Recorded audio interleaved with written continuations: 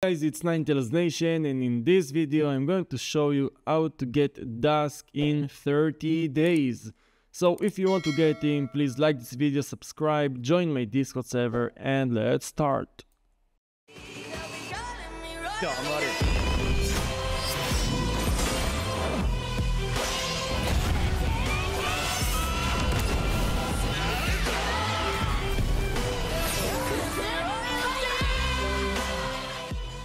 Okay, I will do it really quick. If you want to get Dusk in 30 days, that means, let's say you don't have luck, okay? So you need to do it 150 times.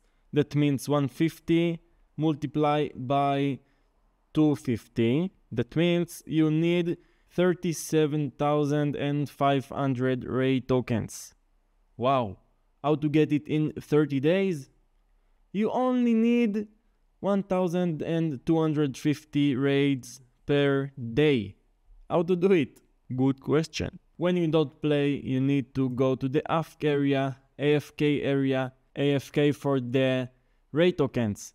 This is when you don't play. When you play every single hour, every round hour, you need to do the raid.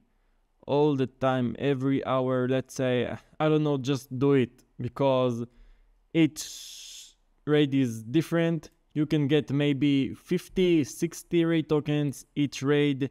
That's mean, let's say 60 multiply by 5 raids a day, 300 raid tokens a day from raids. Let's say you do more than 5, I don't know, get 300, 400 raid tokens a day.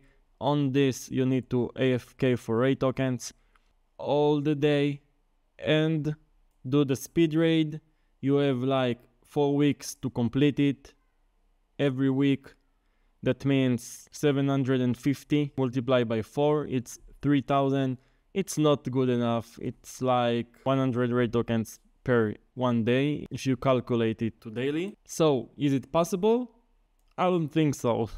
if you if you have zero raid tokens and you want to get dusk and you don't have luck and you need to do like 150 times with zero raid tokens in 30 days, you don't have any chance. You need a lot of luck and maybe put some Robux on this. But yeah, so is it possible? Yeah, depends on you. Okay, this was a short video.